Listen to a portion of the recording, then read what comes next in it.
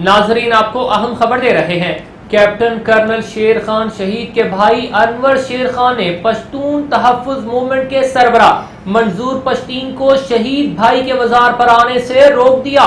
सवाबी में निशान हैदर कर्नल शेर खान शहीद के भाई अनवर शेर खान ने मंजूर पश्तीन से कहा कि वो मुल्क और पाक फौज के खिलाफ हर्जा सराई करता है और पहले कभी कर्नल शेर खान शहीद के मजार पर नहीं आया। अनवर शेर खान का कहना था कि वो वजीरस्तान गए, जहाँ पश्तूनों से मुलाकात की।